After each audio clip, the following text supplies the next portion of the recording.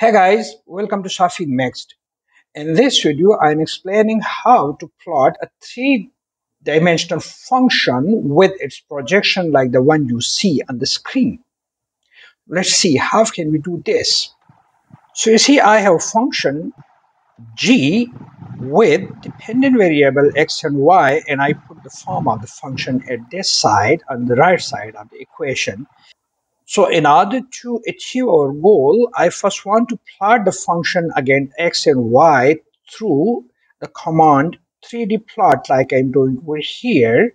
I put the function inside the argument of plot 3D with x and y varying from minus 15 to 15 and then I add some other commands like plot range, color function, hue, mesh non-box ratio, etc. And if I run this part of the program by first uh, reading G and then I run this part, I get a 3D figure of the function and I assign this figure to PL1. And now I want to plot the function gx, g of x and y through the command slice contour plot 3D in order to generate the projection in the xy plane and I asked Mathematica to put the projection of the function as a contour plot on the position along z-axis with minus 7.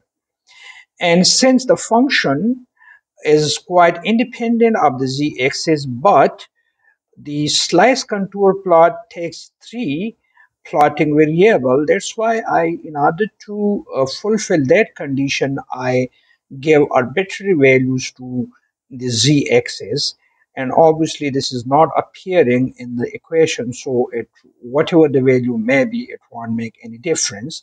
And then I ask Mathematica to plot it between the range from minus 5 to 4.6 I add other command like contour 30, axis false, plot point 100, plot range padding 0, color function box false. So this condition will plot the data without uh, creating a box. If I run this part of the program, I get this surface plot without any axis, any box.